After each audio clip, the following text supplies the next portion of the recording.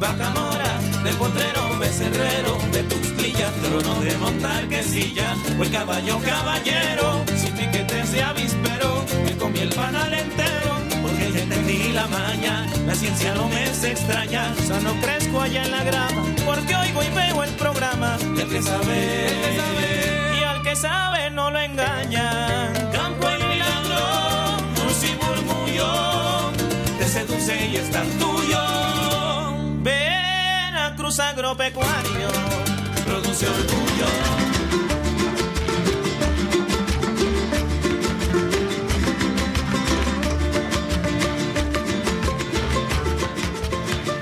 Rindiéndole tributo, honor y agradecimiento a nuestra Madre Tierra, comienza esta emisión de nuestro Veracruz Agropecuario. Bienvenidas, bienvenidos a un jueves de ciencias, de ciencias atmosféricas, de ciencias agronómicas, de cultura, tradición, celebración, de flores y tierras y muchas cosas más. Este es Veracruz Agropecuario y hoy de manera especial vaya y valga este programa con mucho agradecimiento, admiración y respeto a las agrónomas y a los agrónomos en este su día especial.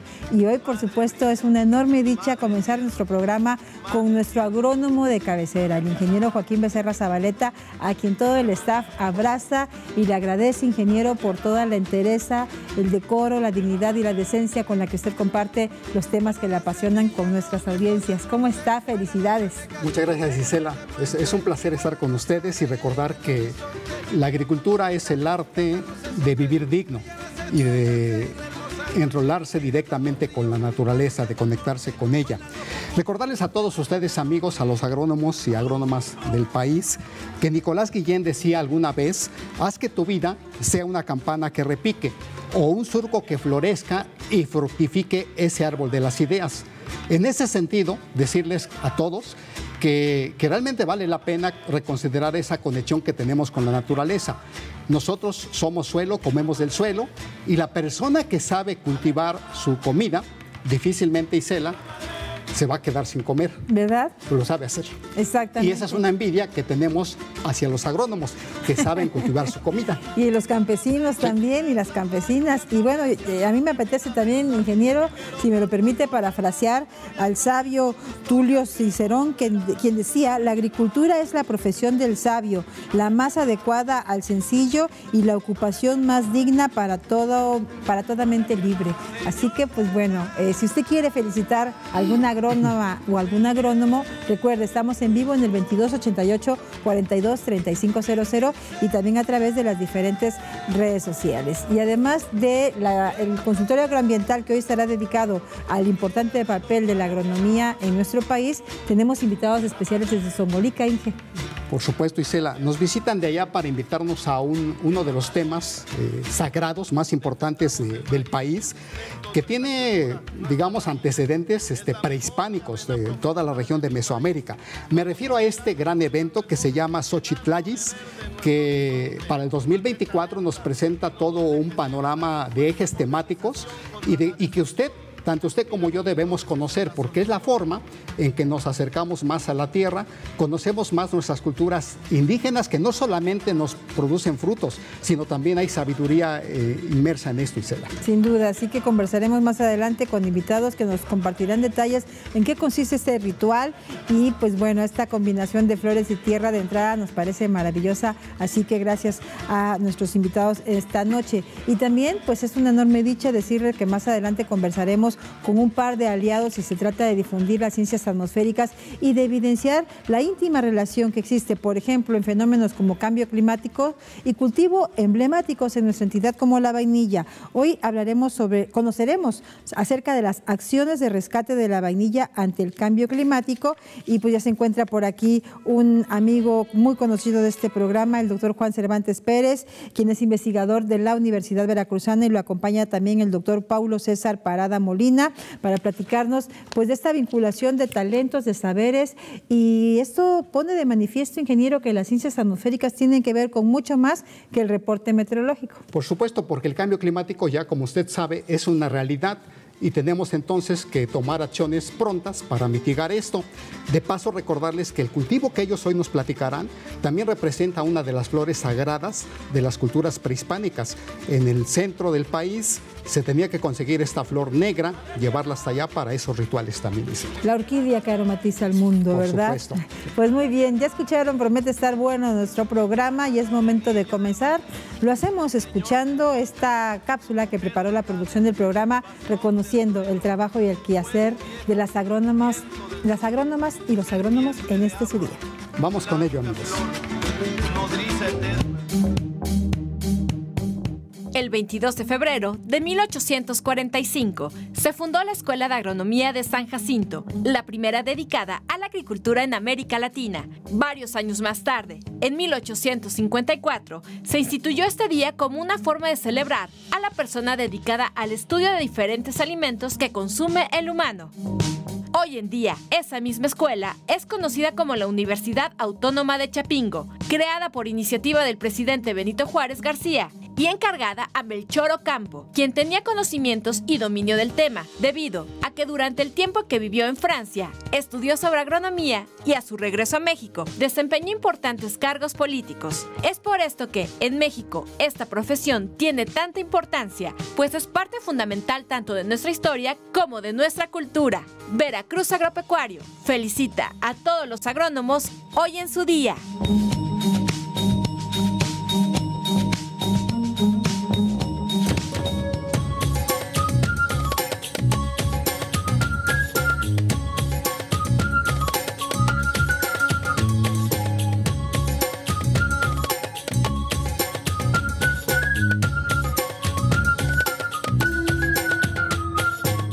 Efectivamente, amigos, el agrónomo que se dedica al arte de cultivar la tierra tiene la oficina más grande del mundo. La oficina no tiene paredes, no tiene techo y alcanza hasta donde la vista lo permite. Ese es el papel del agrónomo. Pero quiero decirle que la palabra ingeniero procede del latín ingenium, que significa fundamentalmente una persona que tiene un espíritu genial, una persona con capacidad inventiva que crea y innova cosas. Y también debo decirle que todos los días, de forma regular, necesitaremos de un agrónomo. En la mesa siempre está a la mano. A veces usted va a necesitar un abogado, tal vez un médico, pero el agrónomo no falla en la mesa porque es quien produce la comida y no necesariamente debe tener un título. Este día va dedicado a todos los que producen el campo, a todos los agrónomos, agrónomas, donde podemos ver elementos característicos del, del agris o del ager, del campo. De ahí surgen las palabras agrario, agrícola, agropecuario, también surge la palabra campesino y también campeón del propio campo. Ahí figuran, si usted se da cuenta, hombres, mujeres, niños, está el sombrero de ala ancha, de preferentemente de palma, está el paliaquiate, el palia- paliacate, los guaraches o las botas, el machete, los animales de carga como mulas, caballos, animales de arado como los que usted ve ahí, bueyes de barbecho y, y algo más. Los inicios de la agronomía en México datan a 1853, cuando Antonio López de Santa Ana emite un decreto por el cual se formaría el Colegio Nacional de Agricultura, que entonces estaba conformado por la Escuela de Agricultura y la Escuela de Veterinaria. Fue el 22 de febrero de 1854 cuando la Escuela de Agricultura abre sus puertas iniciando cursos. Por eso en México se celebra el Día del Agrónomo, esta fecha tan especial. Las escuelas de e instituciones sobre agronomía en México son tan abundantes como los granos que hay en una mazorca o en una espiga, amigos, eh, en general. Podemos ir al norte y encontrar la Universidad Autónoma de Baja California, Universidad Autónoma Antonio Narro, pasamos a la Universidad de Chihuahua, hacia el centro vamos a toparnos con la Universidad eh, de Chapingo, el Colegio Postgraduados, la Benemérita Universidad de Puebla, y hacia el sur encontramos la Universidad Veracruzana, de la cual yo soy egresado. Está también la Universidad Autónoma de Tabasco, la Universidad Autónoma de Campeche, y también hay instituciones como el INIFAD, está la Zagarpa, SADER, está también en todos los municipios hay una dirección de fomento agropecuario. Digamos que de sem- semillas somos un hervidero como país, porque México es un país eminentemente agrícola y también forestal. La especialización, amigos, en la que se puede dedicar un ingeniero es vasta también.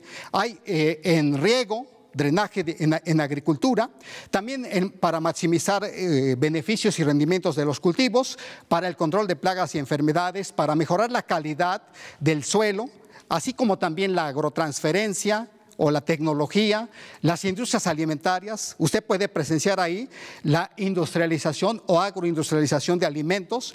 También el ingeniero se capacita para asesorarnos en la agroexportación y los agronegocios. ¿Y qué decir, amigos, de todo lo que tiene que ver con la innovación en agricultura protegida, donde hay invernaderos, hay este, viveros de plantas? Usted puede pensar también en temas como transferencia, adopción de tecnologías de vanguardia. Ya en un momentito más adelante, los especialistas nos platicarán de qué elementos de vanguardia podemos utilizar para reconocer los efectos del cambio climático y tratar de mitigar estos. También el ingeniero puede ser un buen docente, capacitar a muchas personas, hacerse investigador en la agronomía, trabajar nociones de todo lo que tiene que ver con mejoramiento genético de plantas y animales, que propiamente es la biotecnología, una herramienta que, por cierto, es de vanguardia actualmente en todo el mundo. Así que hay mucho que decir de los agrónomos. Entre las características deseables para un buen agrónomo están las siguientes. Debe tener un gusto, una pasión por la naturaleza. Los paisajes agrarios deben emocionarle, deben, revestirle. También debe ser noble de espíritu de, servicio y tener una sensibilidad por la gente del campo, amigos. Cuando no se se encara al campo y se le gira el campo, sencillamente no puede uno desarrollar un buen trabajo. Pero fundamentalmente debe tener deseos de trabajar en beneficio de la comunidad rural y de todo un país como el nuestro. Quiero recordarles a todos que la tendencia contemporánea es transitar hacia la agricultura ecológica, llamada propiamente agroecología.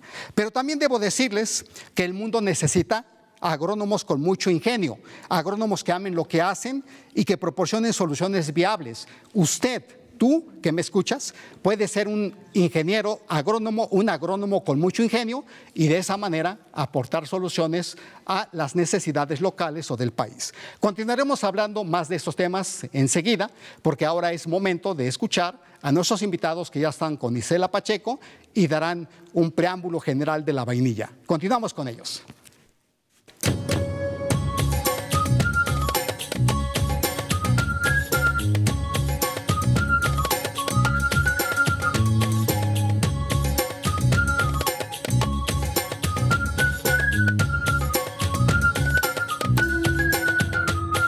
Muchas gracias, Inge. Y ahora es momento de hablar de la relación entre la vainilla y el clima.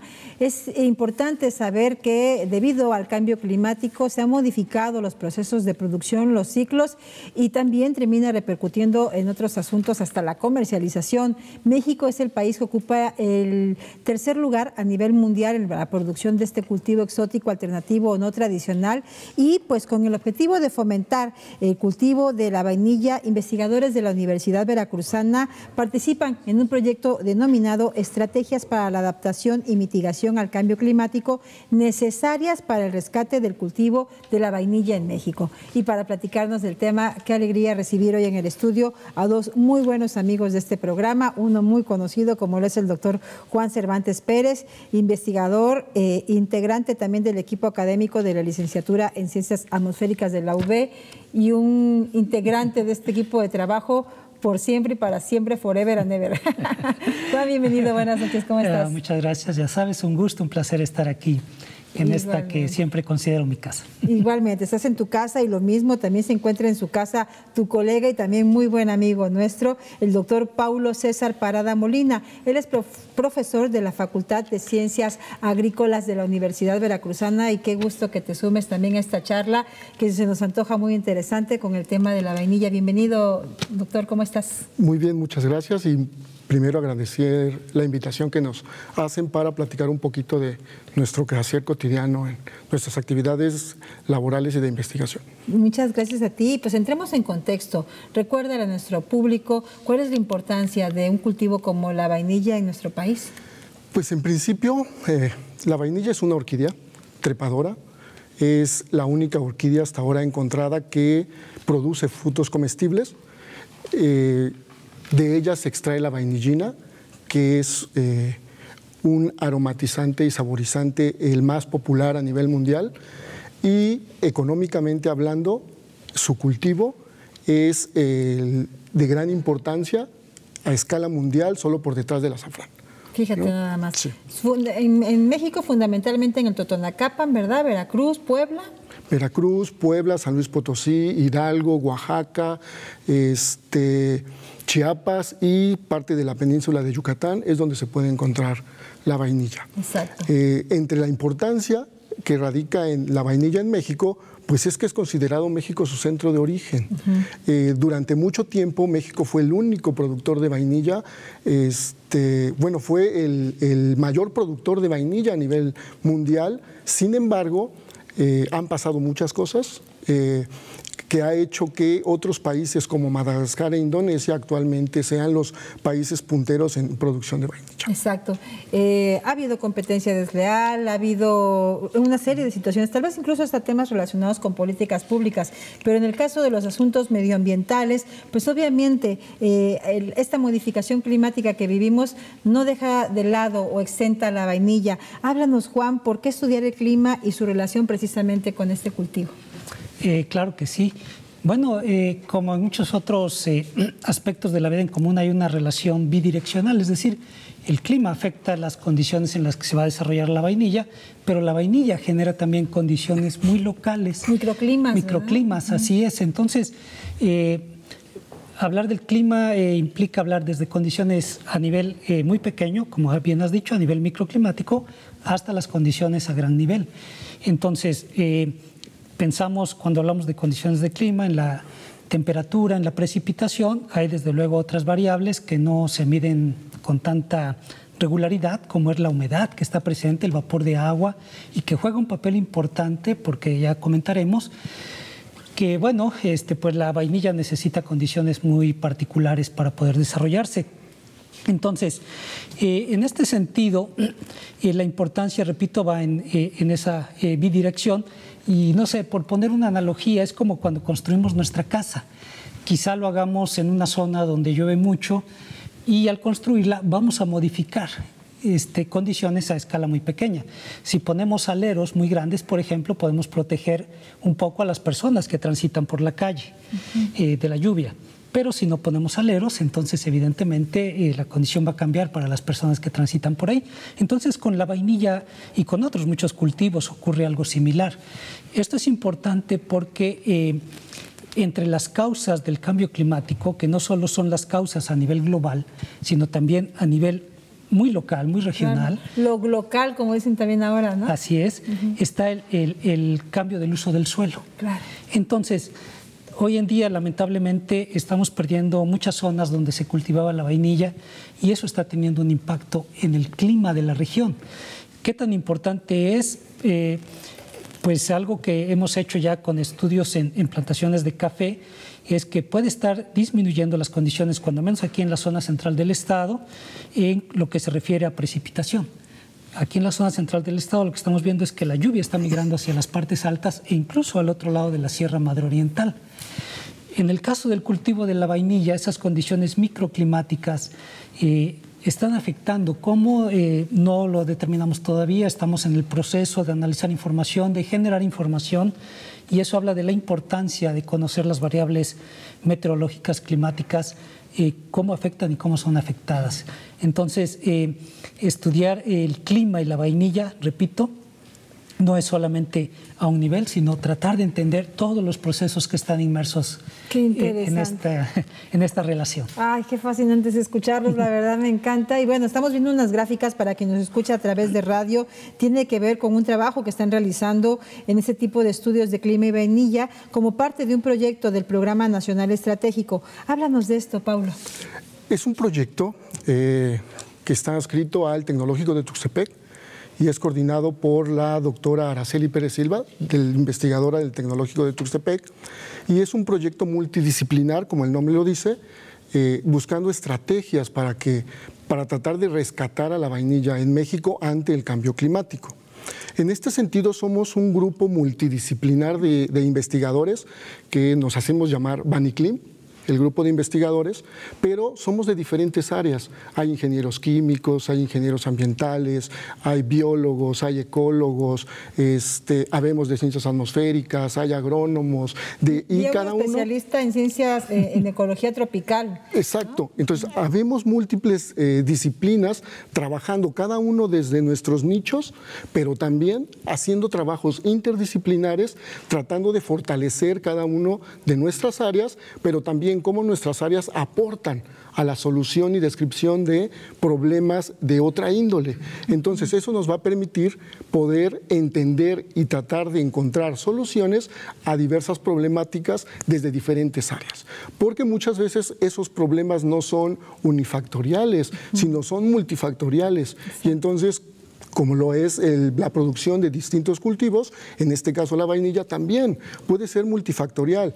Puede haber eh, algunas eh, plagas o insectos que estén afectando el desarrollo de la vainilla, puede haber condiciones medioambientales o microorganismos que están influyendo. Entonces, cada uno de nosotros está trabajando desde un área. ¿no? Particularmente eh, el doctor Juan, yo, formamos parte del equipo que estamos trabajando en cuestiones de clima y agrometeorología y nuestro grupo es coordinado por el doctor Carlos Cerdán de la Facultad de Ciencias Agrícolas y entonces lo que estamos tratando es de identificar cómo se relacionan esas variables de clima a nivel micro con crecimiento de plantas, con desarrollo vegetativo, con desarrollo productivo, con incidencia de plagas y enfermedades. Entonces, tratando, estamos tratando de ver cómo eso, cómo esas variables climáticas, microclimáticas, podrían estar influyendo en cada una de esas variables. Muy bien. ¿Y esto, Juan, para qué sirve? Hay que decirle a, quien nos escucha ahora mismo,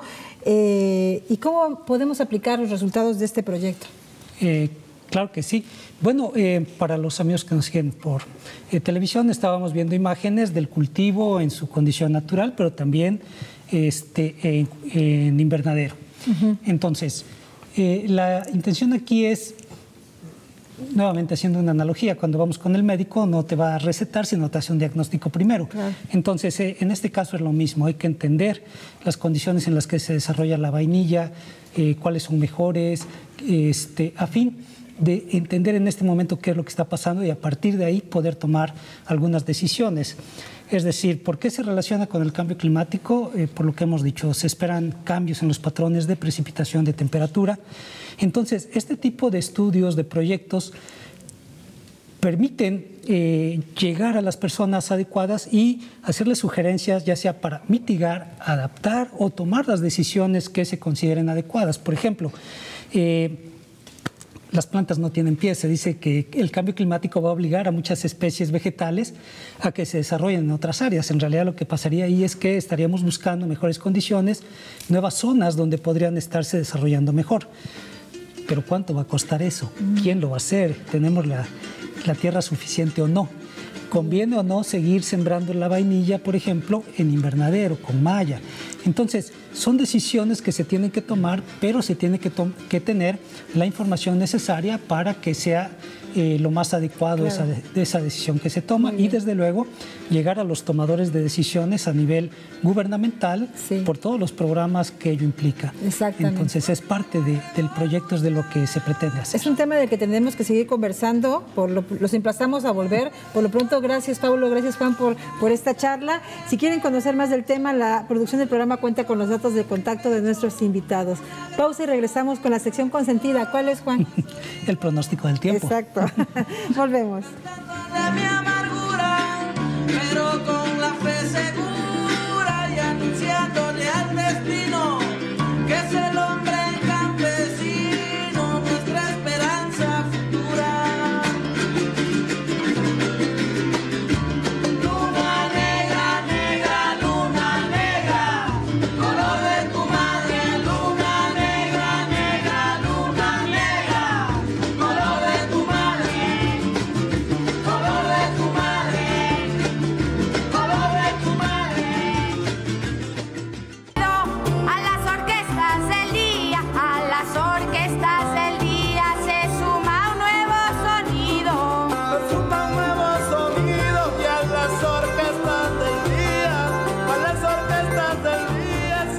Veracruz Agropecuario, gracias a nuestro compañero Jorge Monge, que desde el centro de redes nos comparte mensajes maravillosos, como el de Jorge Padilla Arbizu, quien saluda a todo el equipo de Veracruz Agropecuario, felicita a nuestros invitados de manera especial, celebra a las agrónomas y a los agrónomos. Muchas felicidades, reciban un gran abrazo y reconocimiento desde Jutepec, Morelos. Gracias. Mauro Dionisio Montiel nos saluda desde Guanajuato. Saludos. Juan Carlos Velázquez, buenas tardes. Saludos desde Honduras, gracias, saludos a Honduras. Y por acá también Francisca Munguía nos está viendo en Hidalgo Titlán y también le mandamos saludos hasta esta hermosa región del norte del país.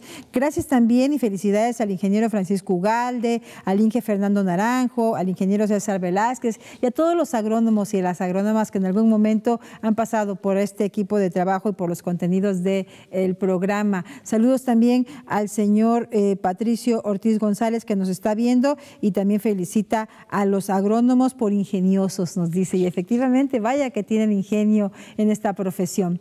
Y otros ingeniosos son los meteorólogos. Ahora escuchemos juntos el estado del tiempo.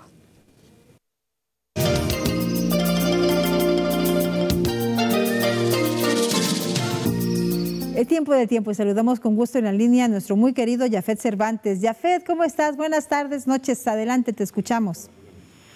Hola Isela, ¿qué tal? Eh, muy buena tarde, noche a todo el auditorio también. Comentándoles el estado del tiempo en Veracruz ah, y en gran parte de la región ha estado dominando tiempo estable con los periodos de sol eh, gran parte de la jornada, eh, cielos despejados y esto favoreció que las temperaturas eh, hayan incrementado de forma notable, particularmente esto es en, las regiones de, las llanuras y costas, aunque en las zonas de montaña también eh, las temperaturas y el ambiente ha sido cálido. Eh, las temperaturas en las siguientes horas, particularmente en las primeras horas de la mañana, se estiman con poco cambio, siendo muy probable que en la zona norte de Veracruz, las regiones de Tamiagua, la zona de Tantoyuca, la región de Naranjos, Tuxpan, las mínimas el día de mañana estén rondando los 19, eh, 18 a 20 grados en las zonas de costa, 18 en las, en las zonas de llanura, similar hacia la zona del centro de Veracruz, temperaturas mínimas entre 19 y 20 grados en la zona de Veracruz, la zona de Alvarado, los Tuxas con 18 grados al amanecer de mañana, Coatzacoalcos con 19 grados, las zonas de montaña, región de Jalapa, eh, zona de Coatepec, Jico, eh, temperaturas mínimas del orden de los 10 eh, a 15 grados, particularmente las zonas de montaña, la región de Altotonga, la zona de Perote, con temperaturas del orden de los 5 a 7 grados, las mínimas al amanecer. Las máximas con poco cambio el día de mañana todavía se estiman del orden de los 25 eh, a 26 grados en las regiones de costa y en las zonas de llanura de entre 27 a 28 grados. Después de que esta jornada se presentaron valores entre los 28 hasta los 29, casi 30 grados, el día de mañana estamos eh, esperando que las temperaturas disminuyan ligeramente, particularmente las máximas y esto estará asociado al avance del Frente Frío número 37 de la temporada, el cual es analizado a esta hora de la jornada, eh, moviéndose lentamente al sur, en la región sur de los Estados Unidos, particularmente en la región del estado de Texas. Se estima ingresa al noroeste del Golfo de México eh, a las primeras horas de, eh, la de mañana viernes, así es que en el transcurso de la madrugada estará moviéndose por el noroeste del Golfo de México y para el estado de Veracruz eh, puede estar alcanzando la zona norte hacia eh, la mañana y en el transcurso del mediodía la zona centro para estar alcanzando el sur de la entidad ya hacia la noche del día viernes. Así es que eh, las personas que hacen actividades en la zona de playa no hay que confiarse ya que si bien el viento en las primeras horas de la mañana eh, puede ser del norte con algunas velocidades débiles, estamos hablando de los 10 a 20 kilómetros por hora hacia lo que es la, la 9, 10 de la mañana pueden estarse ya intensificando hasta alcanzar los 30, 40 kilómetros por hora y hacia después del mediodía eh, podrían estar alcanzándose velocidades que se estiman entre los 45 a 60 kilómetros por hora. Va a incrementar la condición de nubosidad, con ello la presencia de nieblas, lloviznas, e incluso algunas lluvias que los modelos de pronóstico sugieren pueden presentarse particularmente en las regiones eh, de la zona montañosa hacia lo que es de las regiones de eh, Misantla, la zona eh, de montaña de la región de Alto Tonga, la zona límite con los estados de Puebla, la región eh, con la zona de Córdoba, Orizaba, eh, Misantla también, la zona Martínez de la Torre, no se estiman valores acumulados eh, significativos, pero al menos de 5 a 20 milímetros pueden estarse presentando eventos dispersos y con ello la reducción de la visibilidad. Y estas condiciones de tiempo se extenderían al día sábado. Así es que pues vamos nuevamente a una condición de viento del norte en la costa, mayor nubosidad y con menores periodos de sol, pero parece ser que va a ser un periodo corto de tiempo y bueno, lo estaremos actualizando el día de mañana. Mientras tanto, usted la llamado auditorio hasta aquí el reporte. Muchísimas gracias, Jafet. Buenas noches. Buenas noches.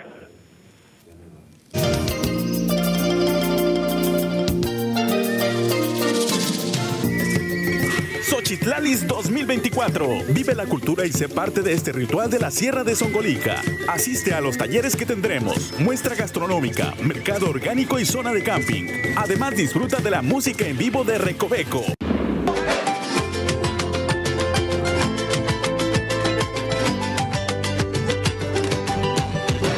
Jarocho Barrio.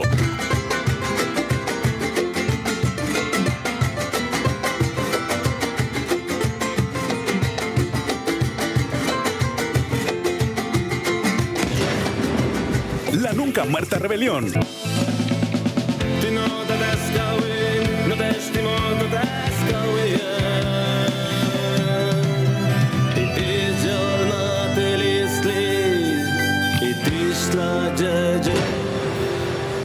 Y una cigarra cantó Y por tus calles, tus avenidas voy Oliendo café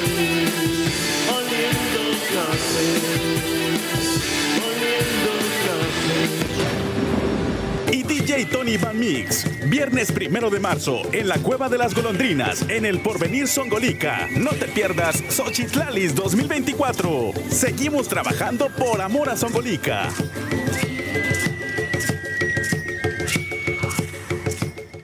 Continuamos amigos en Veracruz Agropecuario.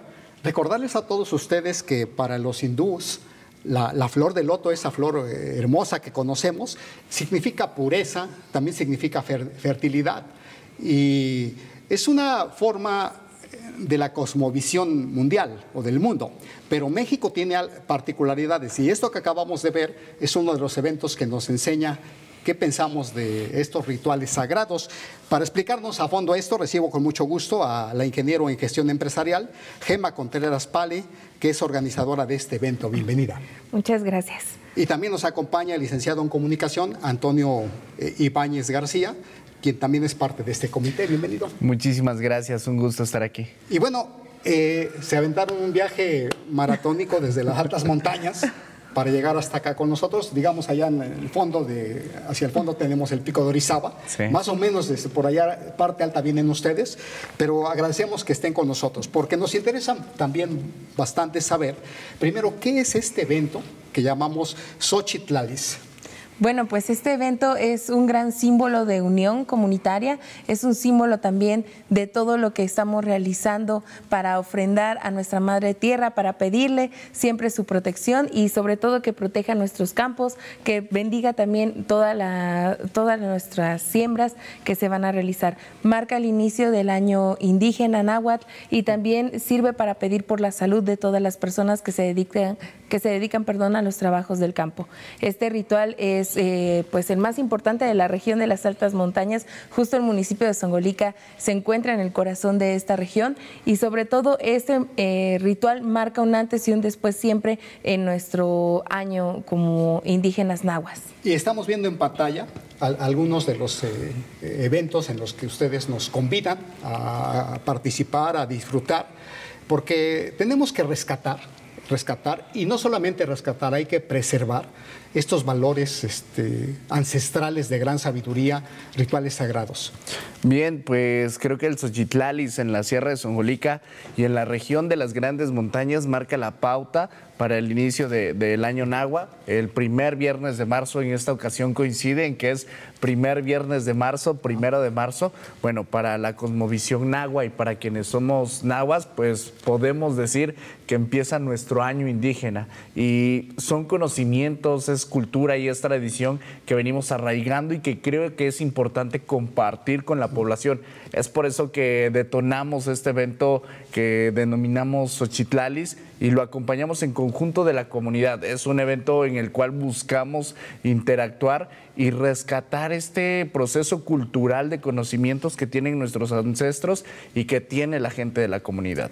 Entiendo que es una relación este, que alguna vez perdimos, pero es una relación que marca al monte, al suelo y a todas las corrientes de agua, ahí, ahí en Songolica propiamente. Sí, este ritual se acompaña también de cantos, eh, de música, de viento tradicional de la Sierra de Songolica y también eh, de danzas. Estas danzas van orientadas a pedirle permiso a la Madre Tierra por el daño que se le va a hacer al iniciar los trabajos agrícolas y también eh, pues evoca a las deidades que nosotros las representamos o las vivimos a través de los cerros que salvaguardan la Sierra de Songolica. Ellos son nuestras deidades a las que tenemos que pedir permiso para poder iniciar todos estos trabajos En, la parte de la cosmovisión este, de nuestra cultura mexicana, muchas cosas perdimos y entonces deambulamos en este mundo como desconectados, a veces perdidos.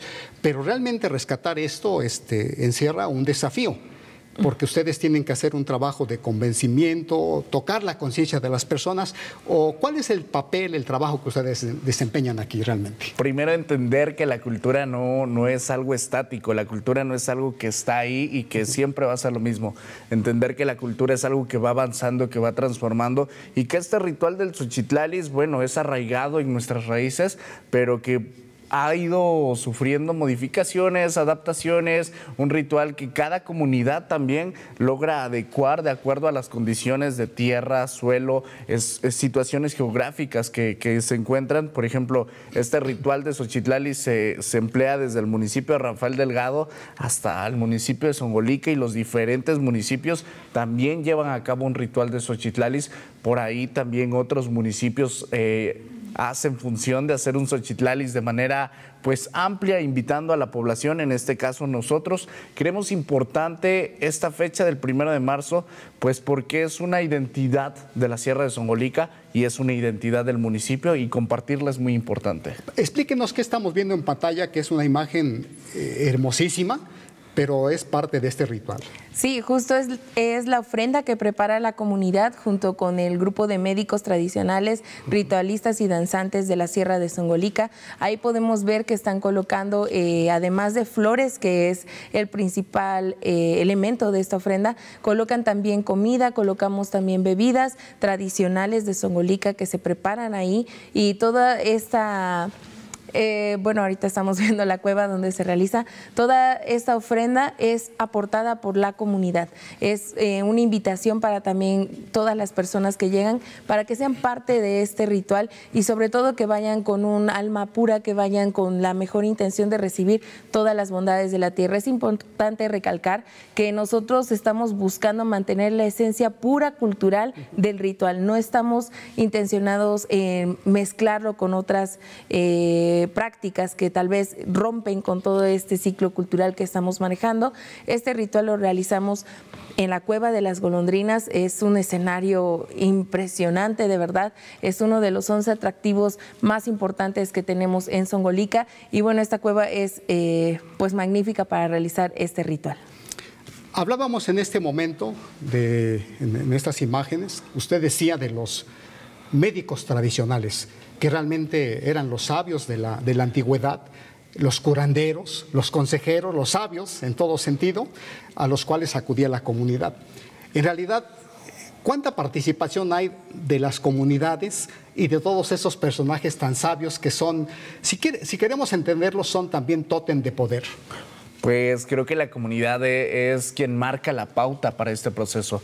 Eh, sin duda este ritual de Xochitlalis no se podría desarrollar ni desempeñar sin el proceso en el cual se inmerse la comunidad. En este caso, la comunidad del Porvenir, donde está la Cueva de las Golondrinas, es quien encabeza y lidera eh, esta gestión, estos procesos de queremos que nuestro ritual de Xochitlalis detone como un evento también turístico, como un evento en el cual se dé a conocer y ahí es donde entran nuestras funciones, eh, pues de diferentes posiciones, desde la función de comunicación, desde la función de gestión empresarial, pues aportar diferentes conocimientos y virtudes a este ritual de Xochitlalis. Pero sin duda la comunidad es una comunidad que se organiza, es una comunidad que solicita, que pide y que además, bueno, también tiene una derrama económica que les beneficia en diferentes aspectos, según ellos lo consideren.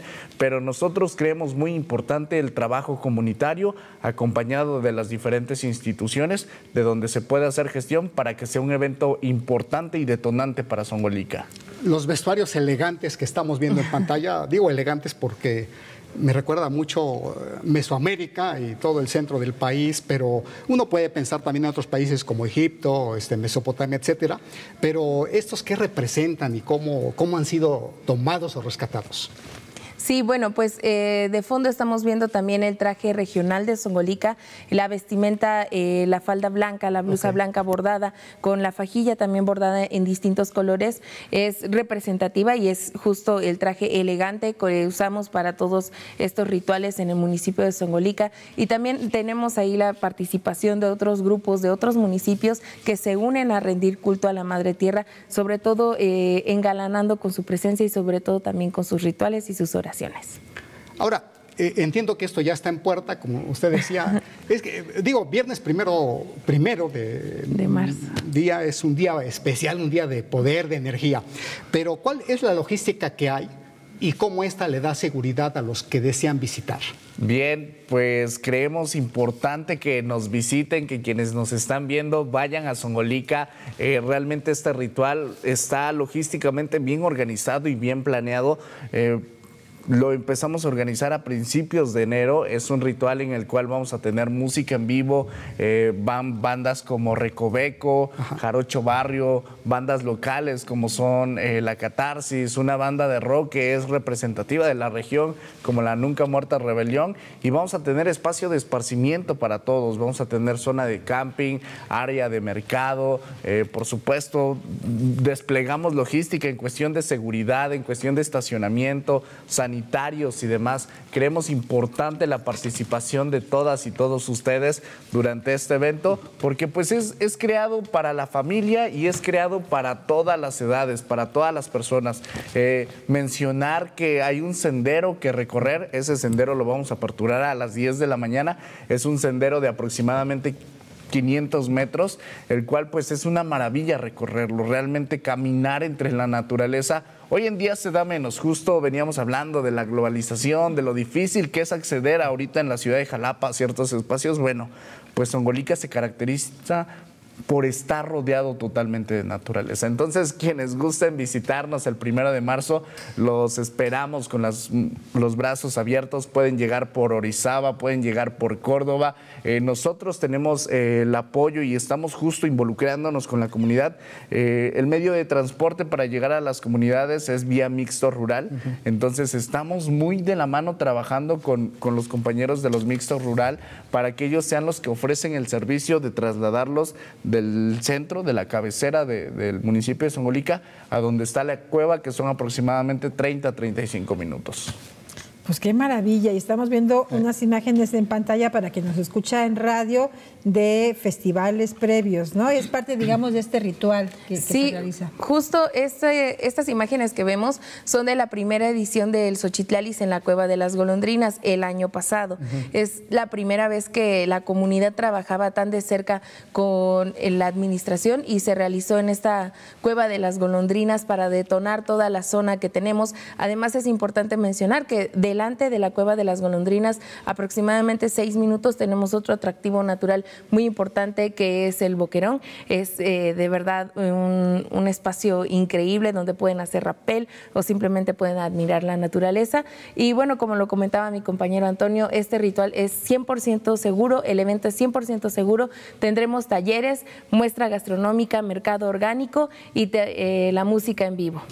Oye, y dices, o únicamente disfrutar la naturaleza. Yo diría que no únicamente, principalmente, ¿no? Porque, y además, y apreciar también, eh, eh, digamos, de, de, cerquita, en cortito, la riqueza de toda esta cultura que no es un pasado remoto, que sigue presente, son nuestras culturas vivas. Ayer fue el Día Internacional de la Lengua Materna y, y para ustedes pues esa es una celebración cotidiana. Sí, es muy importante y justo lo que tratamos de hacer con este ritual es revalorizar nuestra cultura a través de su práctica y sobre todo transmitirla a las siguientes generaciones. Por esto, eh, por eso también involucramos a, o invitamos a las infancias a que participen en estos talleres que es de lectura en lengua materna, medicina tradicional, elaboración de pomadas y todo a base de plantas de nuestro municipio. Qué bonito. Ahora, ustedes son muy jóvenes, pero aparte son profesionistas, conocen el método científico, saben de la ciencia.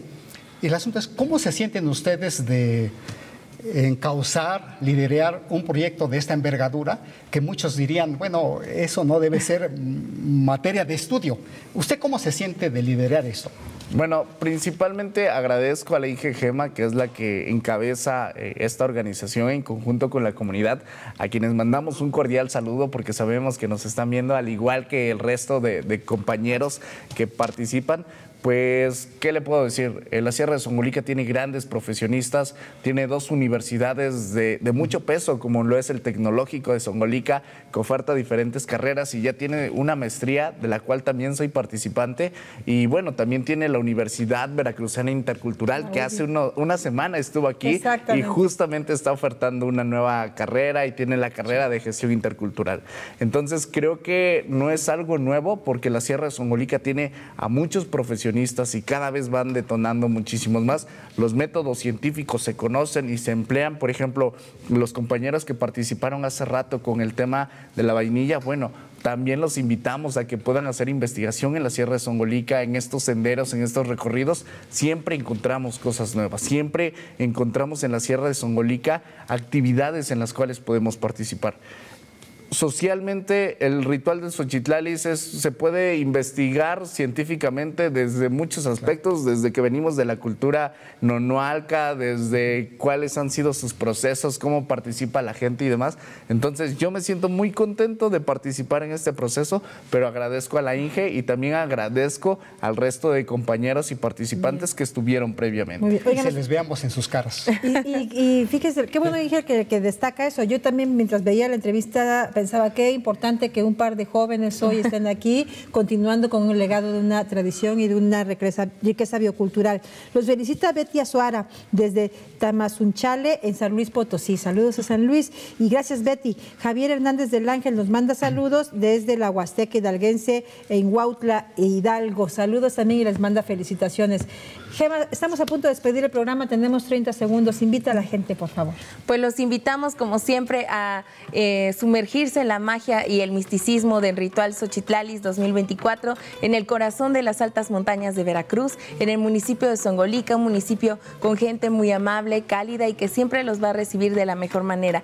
No solo tenemos el Xochitlalis, tenemos más riqueza cultural y turística. Los esperamos con los brazos abiertos para que puedan disfrutar y vivir de cerca nuestra cultura indígena náhuatl.